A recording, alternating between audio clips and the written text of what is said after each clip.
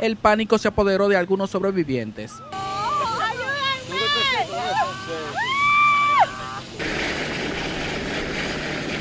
La alerta se activó a las 2 y 30 de la tarde.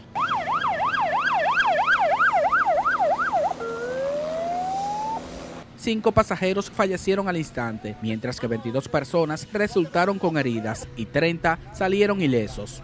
En cualquier aeropuerto del mundo puede suceder una emergencia.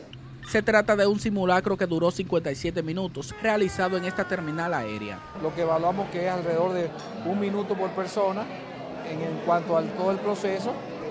Esas, unidades, esas personas fueron trasladadas, de hecho, al Hospital Metropolitano en, tanto por, a nivel por ambulancia como por ah, helicóptero.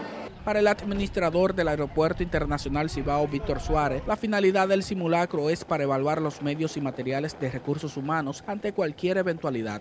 Podemos ver cuál es la respuesta que tenemos eh, también de los hospitales en cuanto al manejo de emergencia, cuántas camas disponibles hay en todos los hospitales para ver si en caso de que tenemos que eh, eh, recurrir a ellos, saber qué podemos hacer. El equipo de emergencia fue auxiliado y supervisado por miembros del Cuerpo de Bomberos de Santiago, así como de la Defensa Civil. También participaron en el ensayo socorristas de Moca y La Vega. Nosotros venimos del centro de la ciudad y estamos cronometrando un tiempo real, saliendo de base hasta llegar acá. Y ustedes saben que cada institución tiene un rol que jugar.